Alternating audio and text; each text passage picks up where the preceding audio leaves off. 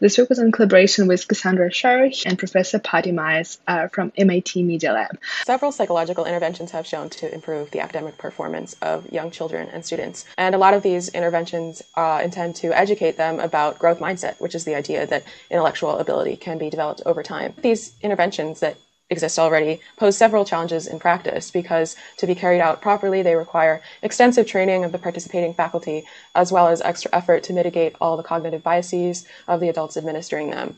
And this both limits their scalability and the success rates. We have three main components uh, of our contribution, more specifically magic familiarity, pop cultural references, as well as neuroscience.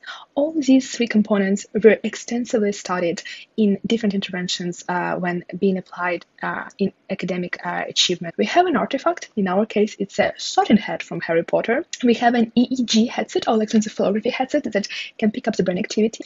We obviously have a computer that uh, connects everything and uh, keeps all the algorithms running smoothly and connects to the EEG headset via Bluetooth. We have a little Sphero robot which we use as a tangible uh, output of the system, and we are also uh, added a speaker inside of the head so the head can actually talk to a child. But only the child only the wearer will be able to hear what it is being uh, what is being told so these are the main contributions, um, main components of uh, our system. This is a short video where you can see what the system looked like while the participant was using it.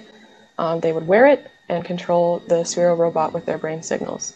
This is only a small glimpse of the results, more specifically the changes in mindset before and after the experiment.